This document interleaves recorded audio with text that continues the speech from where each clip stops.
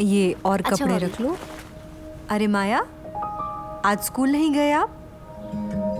वो भाभी काम बहुत है। आप क्या काम करते हो? मैं पानी भरने जाती हूँ। चलो बेटा चलते हैं।